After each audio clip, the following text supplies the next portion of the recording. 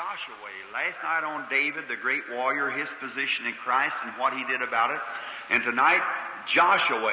And tomorrow night, the Lord willing, we'll get another great hero or someone to speak on their life. And now, being at a, there's not too many here, and most of them has accepted their healing and so forth, I give a lot of the time to bringing forth the Word to encourage and to positionally place the people. I feel led of the Holy Spirit to do that, see? To let the people, these who are here, I'd say like this, how many Christians are here tonight? Raise up your hands. Let, Christians, no matter what church you belong to, about 99%, maybe 99 and 9 tenths percent, see, is Christians. Maybe there'd be a, eight or ten people in here, maybe tonight, that's not Christians. See?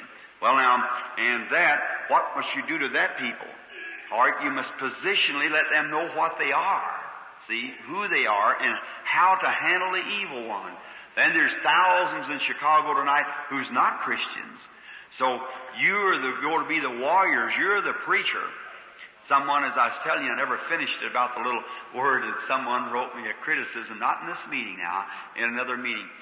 Said, Reverend Branham, I had lots of confidence in you as a man of God until I heard you say under your inspiration that you was a prophet. Well, said you don't say it, but just at that time. Well, that wasn't me saying it then. It was him. So argue with him about it. He's the one. And after all, my dear friend, you know what a prophet is? A New Testament prophet is a preacher. It's exactly. A prophet is a preacher. The word prophet means to foretell or tell forth. Either preach or foretell. And now, if you can't believe the, the um, dictionary for it, here's what the Bible says about it. The Bible said the testimony of Jesus Christ is the spirit of prophecy. Is that right? So every one of your prophets to testify of Jesus Christ. See, it's the spirit of prophecy. The testimony of Jesus Christ is the spirit of prophecy. So now, may the Lord bless us as we read His Word. I suppose you turn to it this time. Joshua 3. A great warrior that I always admired here in the Scriptures.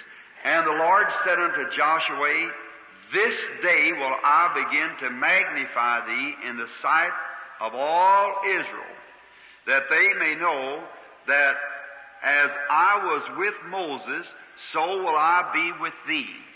And now, over in the the sixth chapter, or the fifth chapter of Joshua, and the twelfth verse, we read this. And the manna ceased on the morrow after they had eaten of the old corn of the land. Neither had the children of Israel manna any more, but they did eat of the fruit of the land of Canaan that year. And it came to pass when Joshua was by Jericho that he lifted up his eyes and looked, and behold, there stood a man over against him with his sword drawn in his hand. And Joshua went unto him and said unto him, Art thou for us or for our adversaries?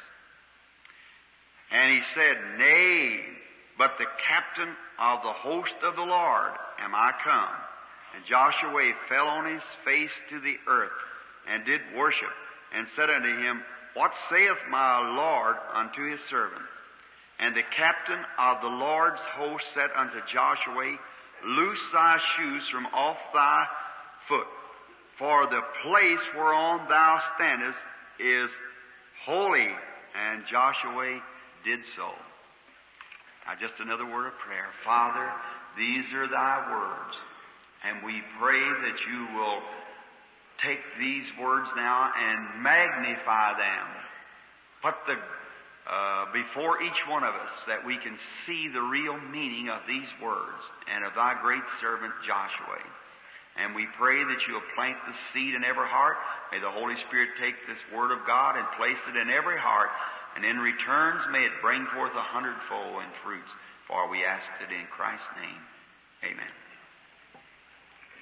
Now, for we're speaking of this great warrior, Joshua, tonight, he was uh, just the children of Israel had just come up out of Egypt and they was in their last stage of the journey. There's three stages of the journey. As they come first, positionally in Egypt. Second, in the wilderness. Third, in Palestine, the promised land. Now, many people has uh, regarded that, typologists as myself, has said that was represented after the wilderness journey, then going into glory. Now, there may be someone here that teaches it that way tonight. That wouldn't make any difference, my brother or sister. Whatever it is, I may be wrong in my theories of it, but I never could liken the promised land to be in heaven because they had wars in the promised land. I'm a millennialist. I believe that there will be a millennium, a thousand years on the earth, that mankind will go right back to God just as he come out from God. And I believe that the promised land represented the millennium, the thousand years in the millennium. If you notice, as soon as they crossed Jordan, which means separation from this earthly journey into the other land, they, the manna, which is a spiritual thing, ceased and they eat of the old corn. They eat of the fruit of the land again. And in the millennium, see, we are eating spiritual manna now, but we'll be back, won't need spiritual manna in that time. We will eat the fruit of the vine again and of the field, the corn. And the Bible said we would build houses and inhabit them, plant vineyards, and eat the fruit of them. When we come into the millennium, that thousand years of rest, when there'll be wars and troubles and sickness and death will flee from the world, we will return here on this earth and be with Christ a thousand years right here before we go into glory. That's the teaching of the Scripture. Now, see how beautiful it's typed out? It was a type of Egypt being settled in Egypt. Many people was left in Egypt. Now, as far as we know, Joseph was brought out, his body. But in Egypt, there was to be a resurrection in Egypt because the patriarchs, as far as we know, are buried in Egypt. Many believers were buried in Egypt. And in the second phase of the journey in the wilderness, many died, and many righteous men, Miriam, Aaron, and many of them died here in between in the journey, and there'll be a resurrection there. And then also over into the promised land, there will be the, the resurrection. But those three things typing Luther, age, justification by faith, Luther bringing out the people from Egypt, the garlic pots, flesh of the world. Secondly, John Wesley through sanctification. And third, the baptism of the Holy Spirit, where they are free again. Notice Joshua now being first called, elected of God, when he was in the, the wilderness, when he come out of Egypt with the Israelites, in, they could have journeyed in about five days across that little 40 or 50 mile strip there over into the promised land. And when they came out, God was leading them, and they went along fine until they began to murmur and complaining. God would provide, then they come up to the judgment seat, Kadesh Barnea, and refuse to accept God's program and turn back wandering for 40 years because they did not believe God. They wouldn't accept it. Such a beautiful type of the church today. Uh, how that the same procedure, God just repeating history in another way, how the church was called out now in their journey and could have went on over into the promise but has refused. Now, a beautiful picture is before us. Now, as Joshua, the leader, first in the wilderness where there was thousands times thousands of noblemen, yet Joshua seemed to realize that he was positionally, he was elected of God. And when he crossed and Moses died, then he was called of God. God called him out and gave him a vision and said, Now as I was with Moses, so will I be with you. And no man shall stand before you all the days of your life. Be not dismayed, neither be discouraged, for the Lord thy God is with thee wheresoever thou goest. And after the vision is over, then Joshua, being the warrior, elected of God, chosen of God, now, when he meets this king or this great man standing at the wall near Jericho, he was positionally placed then. He was the warrior. And then he seen what the real visible thing was. Who do you think this man was that was standing over against the wall? Now Joshua, knowing it had visions, how the Lord spoke to him, and he knew that he was God's a servant, and he wasn't afraid. But when he went into the land, they crossed over, the manna ceased, and then the old corn, they began to eat it. And one day while strolling along in the wilderness, coming from, Jer- from Jordan up to Jericho, rocky, hilly, desert, wilderness-like place, walking along there, he seen a man. And the man stood and drew his sword. Just a man, looked like a man. And Joshua, perhaps being a chief warrior, drew his sword too, walked to meet him, said, Who are you? Are you for us or are you our adversary? The man I could see lift his sword high say, No, I'm the captain of the host of the, Lord, of the God of Israel. The captain of the host.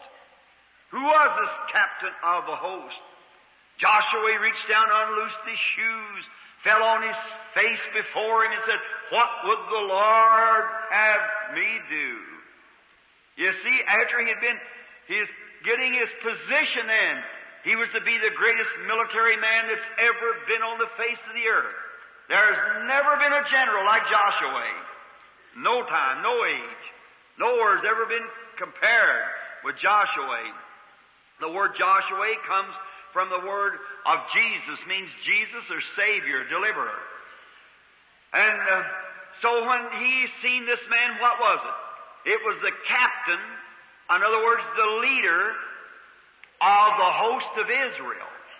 And that leader was none other than Christ himself. Yeah. And what was he first seen in? A pillar of fire. And now the pillar of fire had become a man. I hope you know what I'm talking about. He had become a man. Joshua alone by himself seen just what it was. That that pillar of fire that had led them as an angel, here he stood and called himself the captain of the host. He was the unseen one. And he's still the captain of the host of the Lord the unseen one, the invisible one, the omnipotent one. Here tonight, just as real as he was standing there against the walls of Jericho, the same Lord Jesus. The figurative type, of course. He was Melchizedek that met Abraham many, many hundred years before there. Had no father, no mother, no beginning of days or ending of years. Melchizedek. Who was this great king? Had no beginning of days, no ending of years, without descent, without father, without mother. There you are. Here he is. He met Abraham out there under the oak one day. And he had dust all over his clothes and said he was from a strange or far country and was on his road down to Sodom and Gomorrah. And Abraham recognized there was something, went in and got the fatty calf and killed it and brought it out and give him milk from the cow, meat from the calf, whole cakes off the fire. And he drank the milk, eat the flesh, and the whole cakes. And when Abraham made a sacrifice, the man vanished before him. Abraham said, I've talked face to face with God. Melchizedek, the unseen host, just as real here tonight as he was there. He's everywhere. That is, people are gathered together because it is his spiritual body. Christ. Oh, I hope you get it tonight and sit real close. Look, if my spirit was as my shadow is a shadow of the of the material, say my shadow would be the spirit of the material. And the body, supernaturally now, the body of the Lord Jesus is the shadow, as it was, of the natural physical body of the Lord. And notice, if healings, if power, if visions, if the things that Christ had in Him has gone out of His shadow, then Christ is paralyzed. His natural body sets paralyzed. Because that if His physical body moves, His shadow will have to move with it. And if we are in Christ by Holy Ghost baptism, and the way the body of Christ moves, it'll move the same way on earth. For this is a shadow of His body. Amen. Always been in figurative type. And it is tonight the body of the Lord Jesus Christ. Now, taking in out of the things of the world, predestinated by God, called of God, elected by God, chosen of God, saved by God, baptized into the body of Christ by the Holy Spirit and made members of this body. Alive, ready, willing. My shadow will move every time anything of my body moves. And the Holy Spirit body of Christ will move just as Christ moved.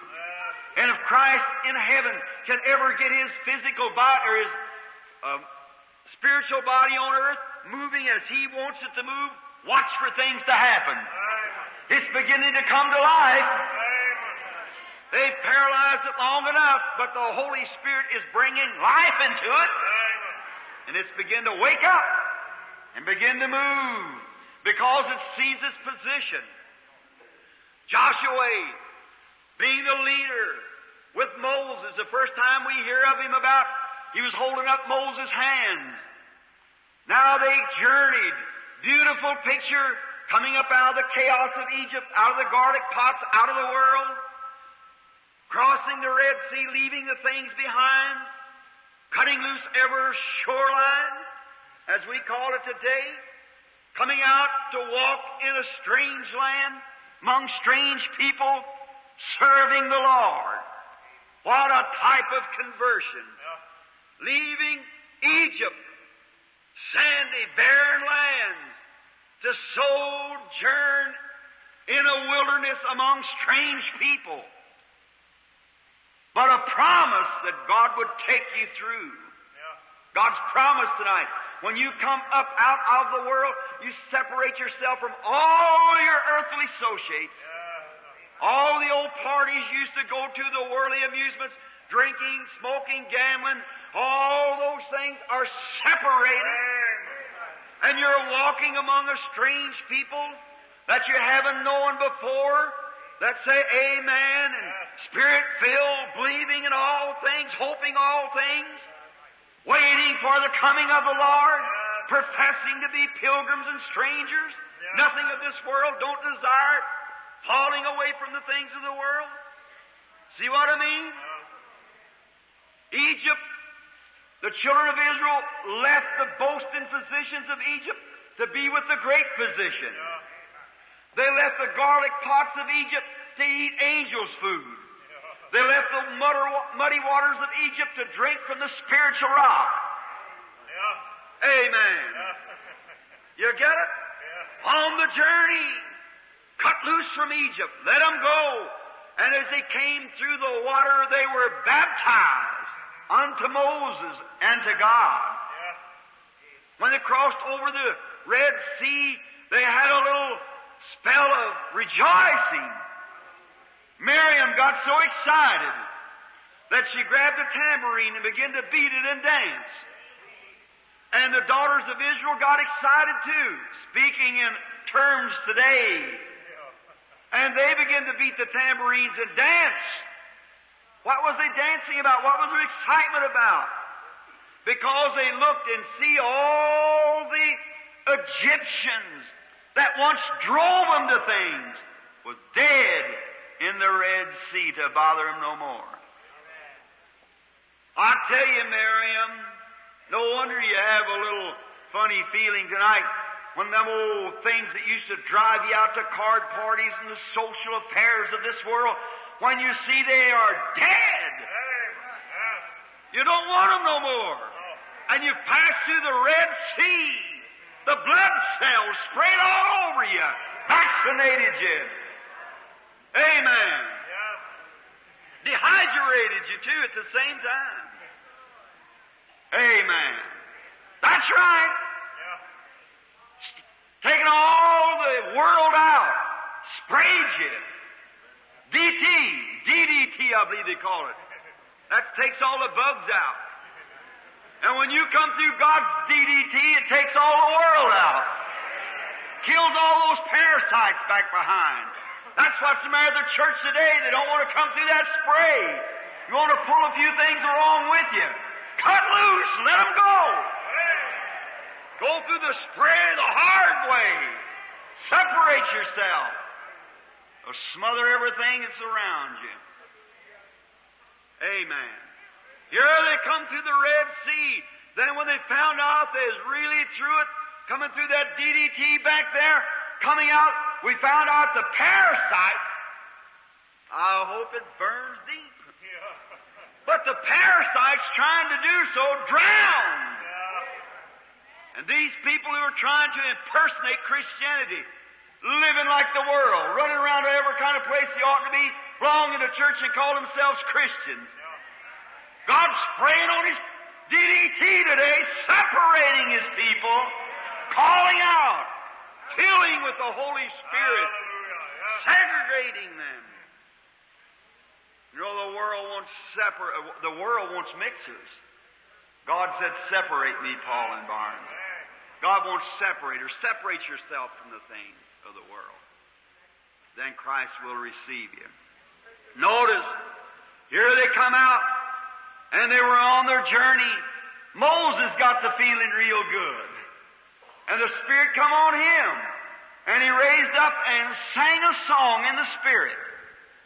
How God had overthrown Pharaoh and his horsemen and his chariots. Then they were ready for the journey. That's the way the church is. When you've once come through the blood of Jesus Christ, cleansed from all unrighteousness, then you're ready for the journey. You're on your road then, keep traveling. On and on they went, type of the church. But then, comparing that with the Lutheran age, they come up to a place then, they didn't have the full gospel yet. And they come up to the place of Kadesh Barnea. Now, Kadesh Barnea was uh, where there's a great spring and lots of little springs around it. Once the judgment seat of the world. A beautiful type of judgment. Judgment begins at the house of God. Truly.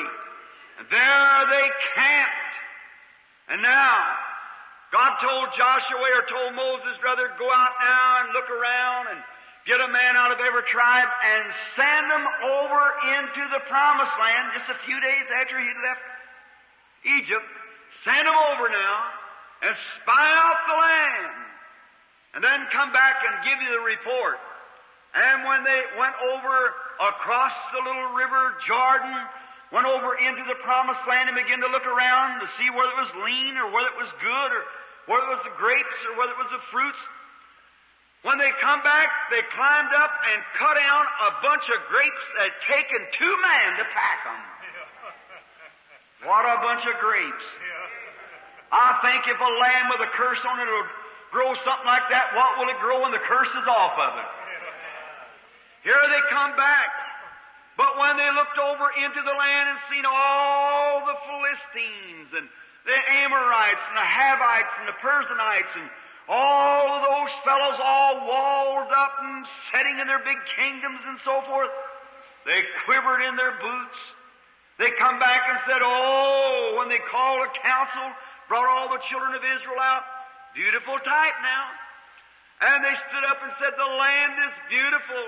It's wonderful. It would be good if we could have a revival like that. But we just can't do it. That's all. Said, oh, we're just prey to them. Said, Ma said, well, they're way bigger. While they're giants and so forth, and they're walled in. And it's impossible for us to take them. Oh, why did you bring us out of our churches, out into this kind of a land? I want you to notice, just come in my mind just then, when Moses sent those ten spies over, it was in harvest of great time. Perfect type of Pentecost. First fruits. Pentecost was the, the ingathering, the first harvest. And when there was a Kadesh Barnea at judgment, then it was be determined on whether they could go on over and get the Holy Spirit or not into the land of promise where they promised. You say, is that a promise? Yes. Peter said, repent, be baptized, every one of you, in the name of Jesus Christ for the remission of your sins. You shall receive the gift of the Holy Ghost. For the promise is unto you and to your children, to them as far off, even Chicago. As many as the Lord our God shall call. We got too many people today saying it's too hard, we can't do it. We can. Harvest time. That's the reason they got this big bunch of grapes and brought it back for evidence. I can see Caleb and Joshua with that on their shoulders, marching down through there just singing the Jubilee songs. Sure. They had the evidence. They could prove it it was a good land. They brought it back and gave all children a grape if they wanted one, off of one cluster. Just look what a bunch of grapes they had. Now, Joshua and Caleb, when they heard all these murmuring, the people said, Oh, it can't be done, it can't be done. Caleb run out of the midst of the people and quieted them and said, Yes, it can be. Joshua stood by and said, Certainly it can be. God's given it to us. Amen. I like that. Hallelujah. Yes, sir. What was it? They were positionally born in Christ. They had a knowledge of the Word and the Word become manifested. Remember, every one of those Israelites had the Word of God preached to them. But it only taken effect upon Caleb and Joshua to realize what it was all about. They said, Oh, we can't do it. And the people begin to weep and begin to complain then, Oh, why'd you bring us out? We are to die now. Our little ones are going to be killed and so forth. And we'll go over there and only thing will be butchered up over there with them. That's all it'll be. That's the way they say today. Oh, we can't accept this your full gospel message. We can't accept divine healing. Great big institutions and so forth. Let one of their members believe in divine healing get healed. They'll turn them out. Don't tell me. I know. I know of an institution not very far from here who was given a widow woman help. She was a missionary to the Jews. And the woman had a daughter. And the daughter was laying in the hospital at the point of death, unconscious, uremic poison, after the birth of her baby. She married a Catholic boy. And the, the boy believed on the Lord. And his baby, one of his first baby, had been healed. And so I was out of town at the time. When I come back in, they asked me if I'd go over and pray for the woman. Well, I went over there. There stood the priest standing there. The uh, mother-in-law had got the priest to stand there. And so they were arguing. One of them Protestant, the other Catholic, and fussing with one another. And one of them said, well, the mother had the priest there said, well, it's my grandchild. And I don't want the grandmother to go to hell. Said, I want the priest to go in and her for death. Well, about that time, I walked up, and here was a doctor into it. And here I was going into anoint her for life, him going into anoint her for death, and the doctor standing there ready to whoop both of us, I guess. What a picture. And I said, now, if he goes into an honor for death, what's use for me going in an honor for life? We're getting all mixed up here. Well, he said, the grandmother, the two grandmothers are fussing it out. And I said, well, you ought to let the father make the decision. And the father said, well, he had been a Catholic boy. He said, look, Reverend Branham prayed for my baby. And said, I believe if he goes in and prays for it, I'll say let him go in. So all of them stepped back. The doctor gave me room. The boy went in with me. The woman was unconscious. I knelt down to pray. While standing there praying, just humble as you would pray or anyone else, the boy, someone knocked at the door and he went to the door to step out to talk to him as somebody else had come up. And another doctor, they wanted to hold a, a consultation of something or other. They done give her up to die. So they uh, was going to do something. The boy had stepped down. Now I prayed about ten minutes. I raised up and I said, Lord, don't let that poor little mother die. Well, I got up from the off the floor where I was praying for, her, and I got up and kind of wiped my eyes. I had been crying a little. Started turning around and look, and I seen the woman at home looking at her baby going like that, and she was fixing the things around like that and fixing the dinner on. I looked at it for a little bit. My, what a feeling! The vision left. I walked out the door, kind of smiling, my overcoat on my arm. There stood the father and all of them out there, the priest rather, and the doctor, all of them standing on the outside there. And it walked out. The husband said, Reverend Branham said, Have you any news? I said, Yes, sir. I have some good news for you. Thus saith the Lord, Your wife is going home well. I said, Now she's going to get worse. I said, Before the night's over, they're going to put a pulmotor on her because she's going to be so low. But I said, After that, she's going to come out of it. And but this time tomorrow night, your wife will be home. Thus saith the Lord. And the people began, he began to rejoicing, and the priest shook his head, let the doctor, and the doctor looked and shook his head, walked on down like he's gone crazy. So I looked at him till he passed on by, and the father the boy run up and said, Look, son, haven't we got enough of this nonsense? He said, Look, daddy. Said, I took my baby over to my first baby, and you know it's the truth over to Brother Branham. And he prayed for it at least four or five times. I took it over there. And never did it get healed. It had club feet. And said, one day I was over there with someone else, and while sitting in the room, Brother Branham told me within 24 hours my baby's feet would be straightened. Said the next morning the wife and I jumped up the same time and run to the cradle and said both feet were just as normal as they could be. And said, if Brother Branham says, thus saith the Lord, that my wife is going home in 24 hours, goodbye, I'm going home to straighten up the house to get her home. And away he went. Straightened up the house in 24 hours, she was home. Been there ever since. That's been two years ago.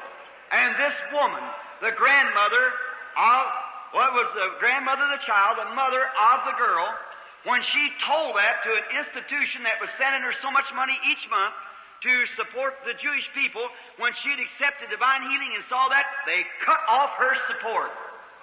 And said, we have, we don't disregard Brother Branham. We have nothing against the man. But we cannot entangle divine healing in our program. Well, then you're out of God's program at that minute. Remember that. I'd rather be a fanatic to the world and be right before God than to anything that I know of. Yes, sir. It's right. When God proves His doings and actions, but vindicates them by signs and wonders, He's always done it. And He will always do it. As long as in the world there will be a supernatural God here to control things. And He'll always have somebody He can put His hands on. He's got a church tonight made up all around the world. You've got a lot of things about it that's got to be ironed out. I can't iron them out and I couldn't iron them out. I don't know how to iron them out. No other man can, but that's God's business to do that. He'll take care of that. It's not in the hands of man to do it. No matter how many man-made programs we rise up, they'll ever one fall just as sure as we raise them up. But God Himself will set up His program. And his program is Jesus Christ, as far as I know, is to be baptized in Christ and be led by the Holy Spirit, free from condemnation. Joshua, after seeing that God could open up the Red Sea, he said, That settles it with me. Yeah. God opened up the Red Sea. Before they left Egypt, the Lord, in the form of the big pillar of fire that was whirling over the top of Moses and them stand there, he said, I will send my angel before you to keep you in the way and to bring you to the place which I have prepared. Beware of him, provoke him not, for my name is in him. Can you see it? Sure, it was Christ, the anointed. My name is in him. Joshua seen him like a man with his sword drawn. And we see him today as a sin offering for sin. And then resurrected Emmanuel, sitting at the right hand of his majesty on high, making intercessions and bringing to pass anything that we confess that he's done for us. Hallelujah. I know it sounds rough and sounds like fanaticism, but so many people so afraid of fanaticism you miss the real thing. Did you always realize that scarecrows are put up around the good apple tree? There ain't a lot of scarecrows. What's a scarecrow's for? Is to scare you away from the real thing. Move on around them. Way on back there, there's a real, genuine Holy Spirit. Holy Ghost filled believers.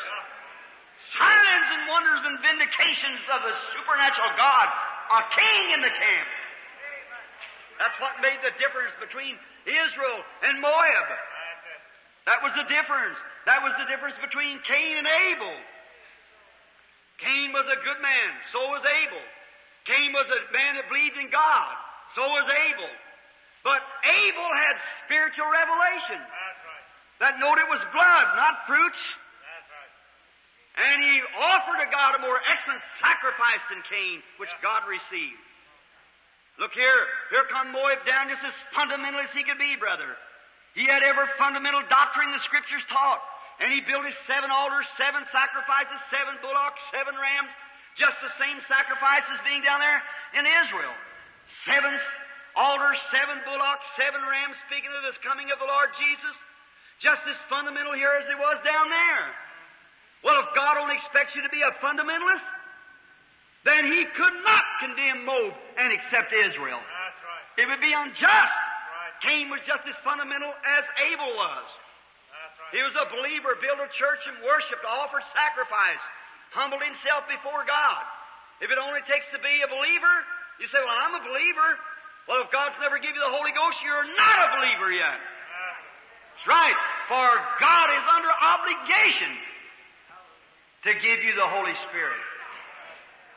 When he said, Repent and be baptized in the name of Jesus Christ for the remission of sin, you shall receive the gift of the Holy Ghost. God's under obligation to do it. Yeah. Forced to who? The apostles? No, sir. Peter said it's for you and your children and them as far off, even as many as the Lord our God shall call. No matter how far it is. It's for every believer. All theologians smear the putty over the top of it. That don't make any difference. She's sprouting up everywhere now. Amen. I'm so happy for the Lord Jesus and for His people. What am I trying to do? Trying to get you to see what, what where you're at. You can only get your uh, get the eyes open, just look down at where you're standing.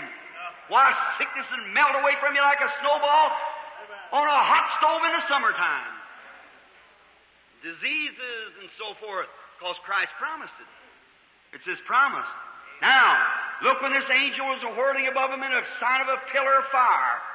That was in the nighttime. In the daytime, it looked like a white cloud circling over him. And when they was uh, under this, he said, "Now I'm going to send him before you." He said, "Now I have given you Palestine. Yeah. All of it's yours. Just go and possess it. Yeah. That's all you have to do." Well, here they started.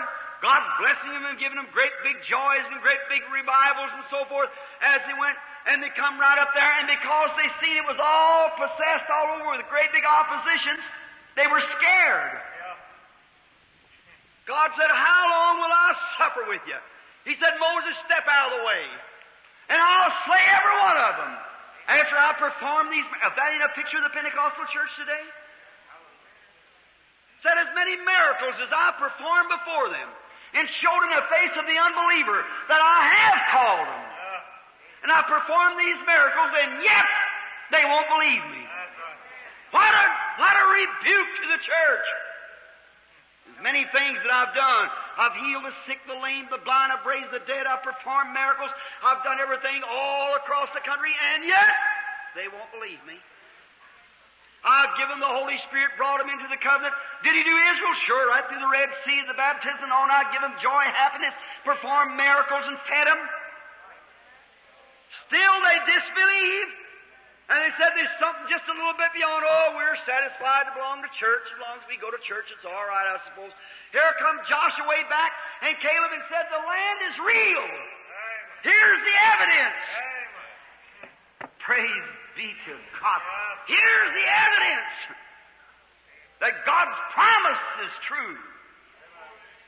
We have the evidence here to prove it. They said, well, the other said, you can't do it.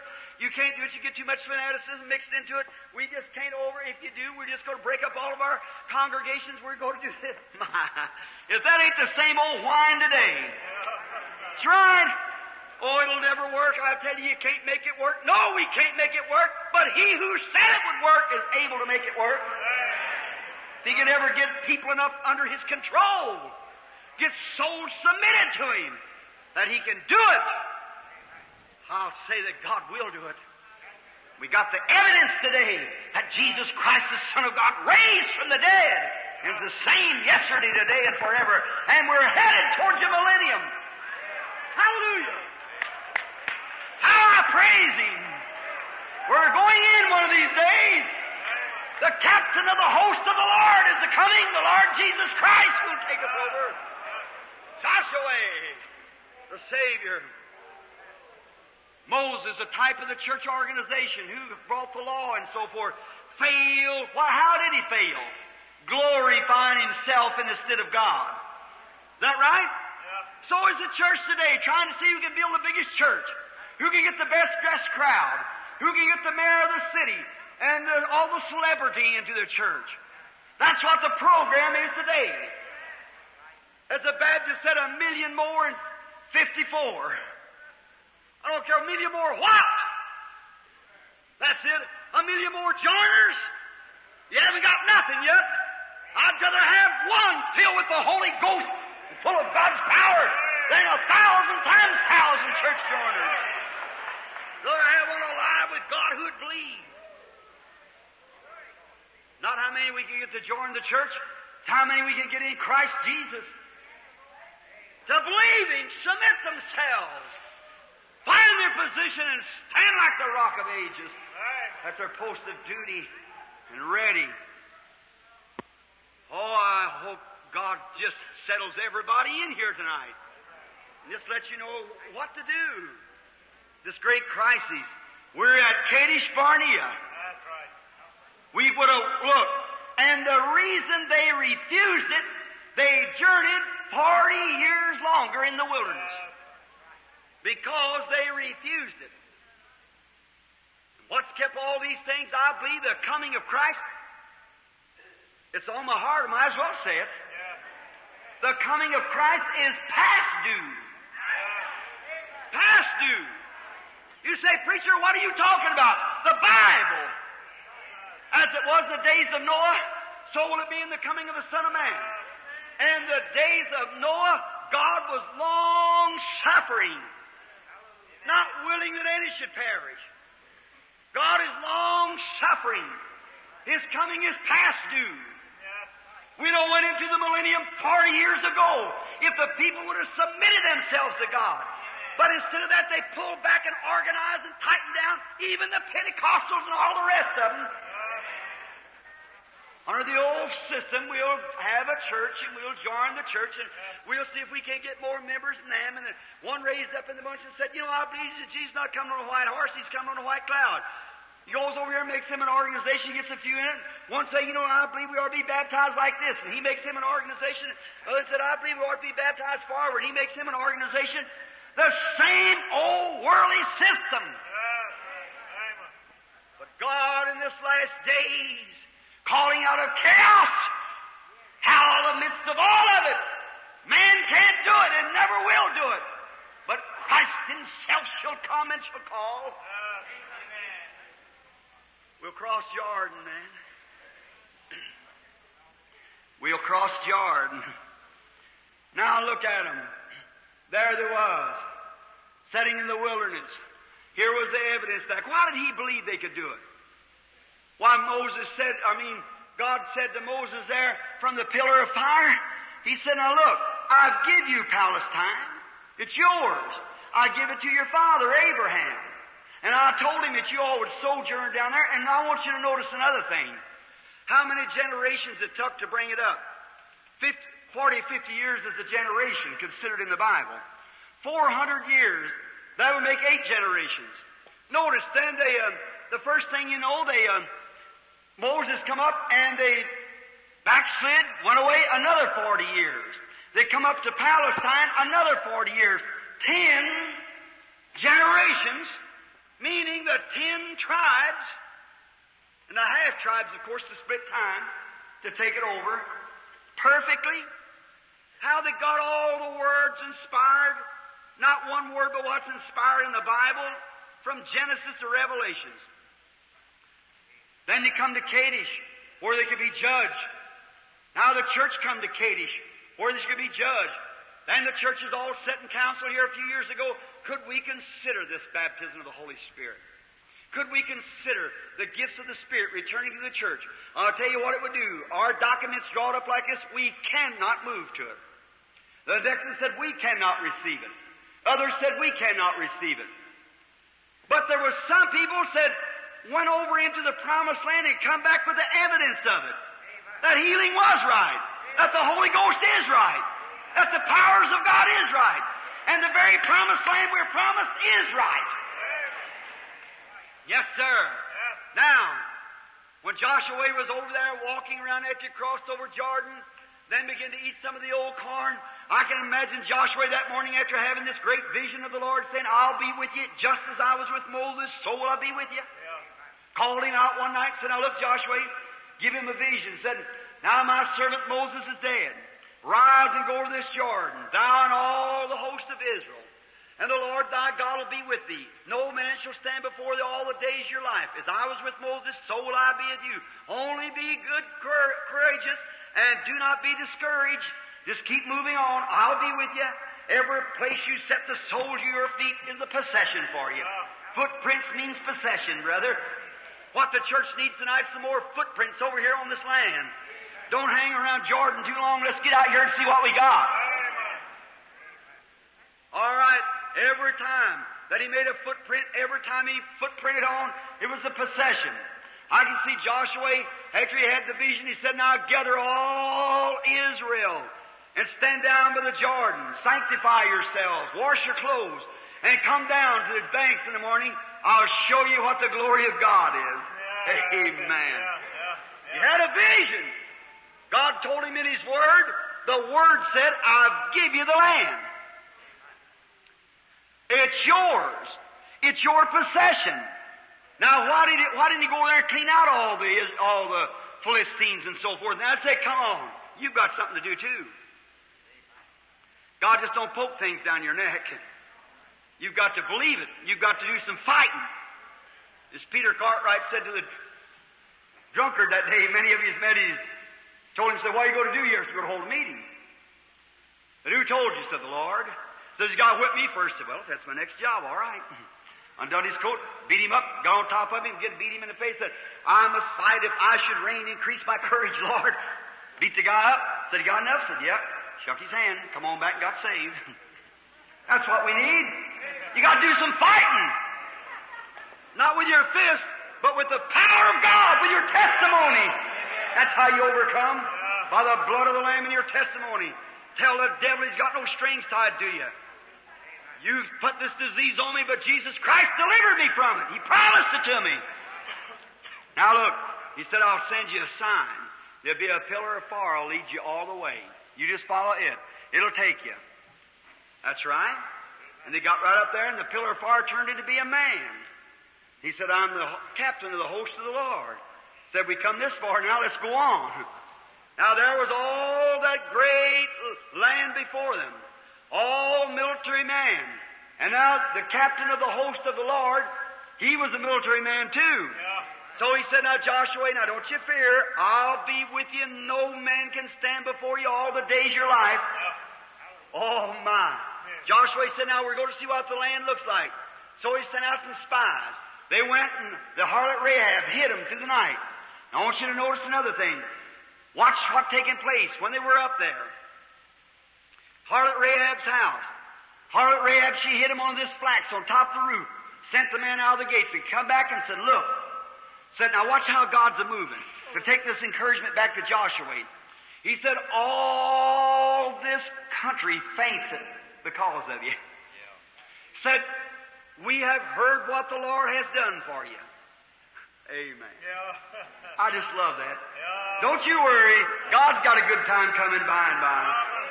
All the country is afraid of you. When we heard that the Lord dried up the Red Sea and let you cross, drowned Pharaoh's army, give you food of manna out in the wilderness, and put a brass serpent up for an atonement. He done all these things for you. And I know what you done destroyed Oregon and the other kings. I seen what you did utterly destroyed. And when we heard this and you were headed our way, we just fainted. There's no more courage left in no one. When he come back and told that to Joshua, I can imagine whirling that sword and say, Glory to God, he's before us! Amen. What made them faint? What made them so fainty? When they were way bigger. Why, they said we look like grasshoppers up the side of them. How could they faint? They were sitting in behind big walls of big slings and rocks and everything, spears and everything. Outnumbered them by the thousands times thousands and thousands they outnumbered them. Certainly they could. They were all united together. Why can't we run that bunch of little handful of little bitty old tiny scrubby looking men with old sickle bars and things to fight with? Not even military men at all. The only thing they are walking around there with little old sandals on, not warriors. They're campers and dwellers and fanatics and holy rollers. Well, why can't we stand down on the banks and shout and scream and bring a disgrace? Well, why can't we armor ourselves and go against them? But there was nothing in their hearts. Uh, why? God said, I'll send my fear before you. Amen. There it is. I'll send my fear before you. For you're my people, my coveted people. I've called you by election. I've chosen you. I've put you into the body. And you're circumcised. Now you're believers. And you go on, I'm with you. It's all yours. Now let's liken that today. That Palestine belonged to Israel. That was their dwelling place. You see it? That was their dwelling place for Israel to dwell in. This body is yours. God gave it to you. It's your dwelling place.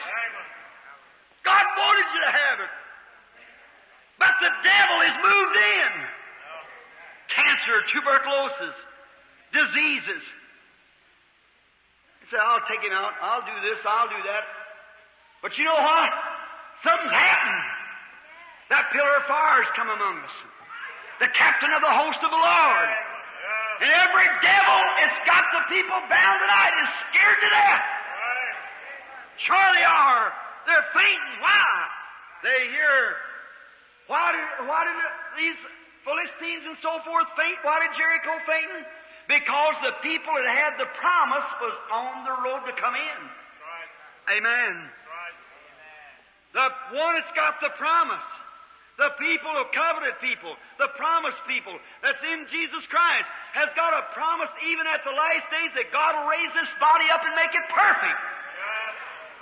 And we've got the attributes of it now. So they're scared. Their father, the devil, is defeated at Calvary. And the captain of the host of the Lord has moved in in the form of the Holy Ghost. Faith in the Father, faith in the Son, faith in the Holy Ghost, three in the one. Demons will tremble and sinners awake. Faith in Jehovah will anything shake. Hallelujah. Devils are on the move. For Jesus Christ, the chief captain, said, In my name they shall cast out devils.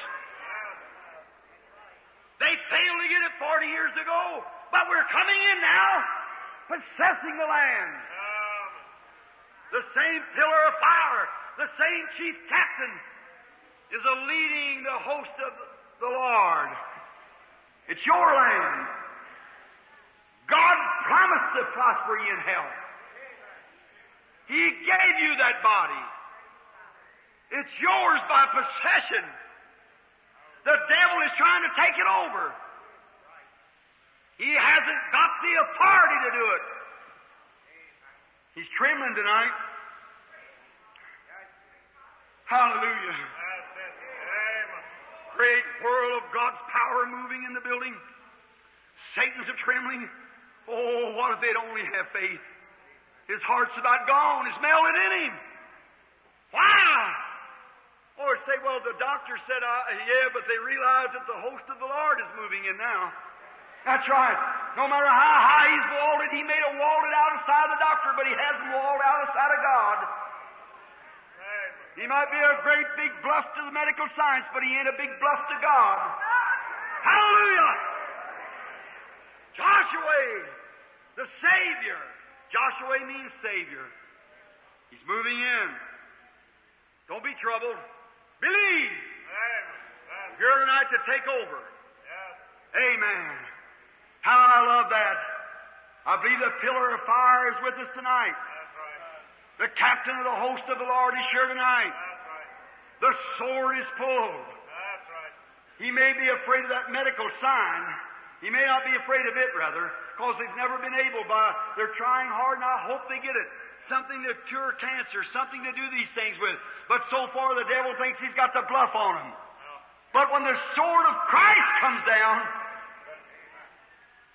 he'll never withstand that. He'll chop every cancer loose. He'll raise up the blind and the afflicted. He's a doing it everywhere. And he's shared tonight the great supernatural Lord Jesus Christ, the great I am, the great Alpha, Omega, the beginning and the end. Why? The land belongs to us. All that comes to me, I'll give him everlasting life and will raise him up at the last day. Amen. We got the evidence of it here. People who were laying last week dying were males and so forth that turned away, could never be well, didn't know what to do, and tonight are perfectly normal and well. The evidence, the land is ours. Hallelujah. Let's get it. Amen. Let's take over. God promised it to us. Belongs to you, it belongs to me. It's your possession. If you'll pull the sword, this is it. Walk in and tear down the walls. Hallelujah. The fight is on, old Christian soldier, face to face in stern array, with armors gleaming, colors streaming, right and wrongs engaged today. The fight is on, but be not weary. Be strong and in His might hold fast. If God be for us, His glory over us, we'll sing the victor song at last. Got to. We're bound for the promised land. Resurrected Lord Jesus is here now. You believe it? O oh, Lord Jesus, Son of God, the great Joshua to the Gentile church, to lead us from this chaos of wilderness for poor little wandering pilgrims are traveling around through the wilderness, Lord, up and down and back and forth because of leaders who's robbed them from the children's bread. Oh, Joshua, Joshua, the Lord Jesus, the I am, move in tonight with the dominating faith. Take possession tonight of every sick person in here. If there be a sinner, take possession of him. Shake him. Let him know that we're here at Jordan. Oh God, one of these days you'll gather all your children, sanctify them through your blood. You'll bring them out on the side of the bank The view of the land over, be changed in a moment, in a twinkling of an eye, cross over Jordan. We're waiting for that hour. Father, we pray tonight that you'll send Jesus. And may he come in this audience now and do that which he said he would do. And heal the sick and the afflicted. For we ask it in his name. Amen. Have faith in God. Lord. I say to you, my dear brother, my sister, the Lord Jesus Christ, the Son of the living God, never fails. He can't fail. What have we to look to tonight? We got a leader tonight. It's the second Joshua. None other but the Lord Jesus Himself, the captain of the host of the Lord. He's with His people. He's sharing power. He's bringing evidence into the church and proving He's the healer. He's proven evidence by the people. He gives them the baptism of the Holy Ghost. He comes down and lets His picture be taken with us. He's doing everything that He can do to show you. Not to join the Methodist, the Baptist, or the Pentecostal, or the Branham Tabernacle, but to join Jesus Christ. Believe in Him. Everything, no matter what church you're going to, that doesn't have nothing to do with it. It's your heart with God, what God looks at. That's right. Believe in Him as the supernatural, resurrected Lord Jesus.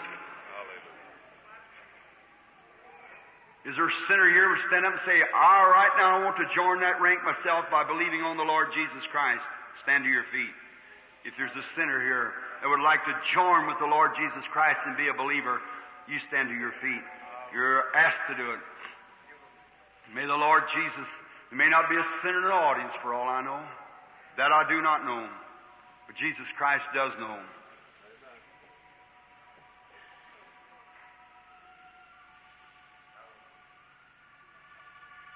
Lady sitting there with that white shawl on, sitting right down here. God healed you just now of your arthritis. Stand up on your feet. It's gone, hasn't it? That's right. Wave your hand. That arthritis pains is gone. Is that right? Hallelujah. The Lord Jesus Christ has healed you. You're well.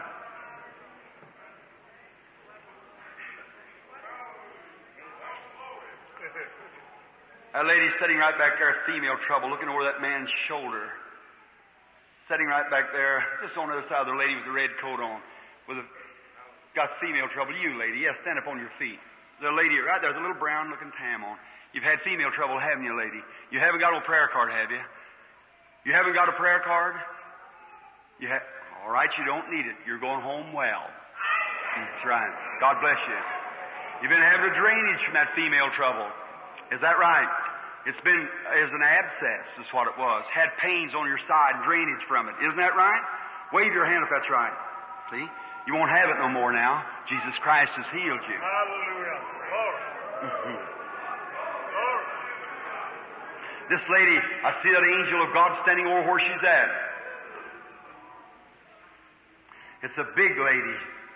She's got a red light sweater on. She's been suffering from a nervous trouble. She's sitting there asking to be delivered. Isn't that right, lady? If it is, shake your hand. You're delivered now. You can go home.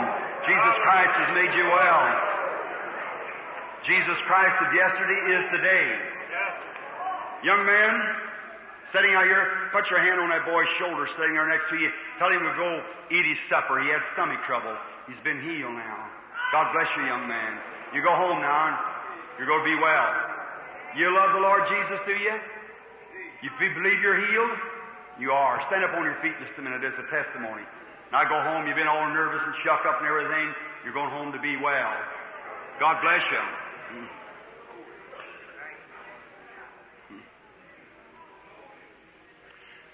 A lady said, a fellow right back there's got sinus trouble right back behind you there. You believe the Lord Jesus makes you well? You do, sir? You believe that He makes you well? God bless you. Your faith heals you. Put your hand over on the lady next to you there because she's suffering with a rupture. She wants to get healed too. God bless you, lady. Do You believe that you're going to get healed too? God bless you. You may have what? What next to you there has kidney trouble too. You want to get healed, son? Stand up on your feet and accept the Lord Jesus Christ. You believe that you're healed? You are. God bless you. It's gone from you. The Joshua, the angel of the Lord, that led Israel is the Lord Jesus Christ. He shared His power and resurrection. You don't need a prayer line. What you need is faith. Do you believe it? If you believe it, stand up on your feet right now and accept your healing. You go home well. Every one of you, in the name of the Lord Jesus Christ, rejoice, give Him praise and glory. Thank Him for healing you. If you believe it, wave your hands. Get up, sir. You can't get any better standing there. Everyone, raise and give God praise. Father, in Jesus Christ's name, heal every sick person.